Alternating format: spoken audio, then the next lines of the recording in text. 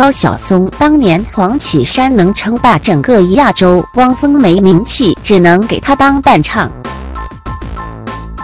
高晓松给大家的感觉一直都是长发、眼睛没脖子。确实，高晓松在长相方面没有任何优势，长得确实很丑。可是高晓松的才华是一般人达不到的。他毕业于清华大学，上大学的时候学习的是电气工程学，但是他对音乐也非常喜欢，在大学的时候就创作了很多歌曲，《同桌的你》就是高晓松的一个代表。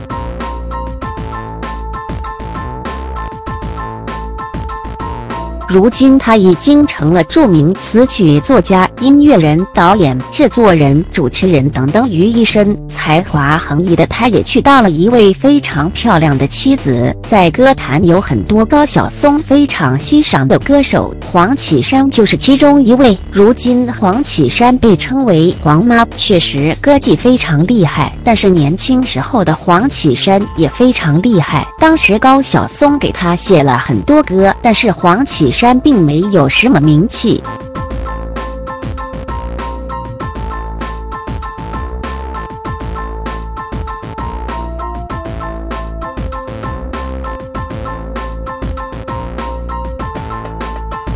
在他年轻的时候，汪峰还是一个很小的角色。在高晓松给黄绮珊做歌的时候，当时就找来了汪峰、小柯、古风三个人给黄绮珊伴唱。因为当时高晓松认为黄绮珊的歌唱水平可以称霸整个亚洲，很多国际的歌手都跟黄绮珊比不了。海豚音对他来说就是小菜一碟。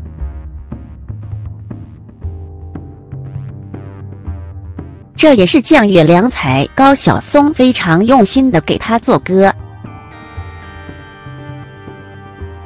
但是事过多年，黄绮珊虽然在我是歌手上火了，可是她并没有达到一线的水平。而汪峰已经成为了中国摇滚乐的代表人物，有太多首经典的歌曲，而且深受大家的喜欢，传唱度非常高。当我想你的时候，北京北京，你是我心爱的姑娘等等，代表作品非常多。但是最出名的作品还是将章子怡娶回家。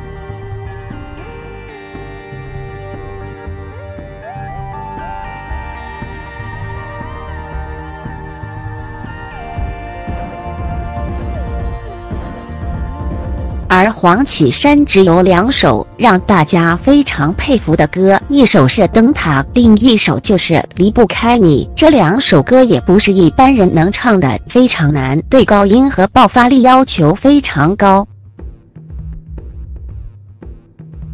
黄绮珊唱的倒是炉火纯青。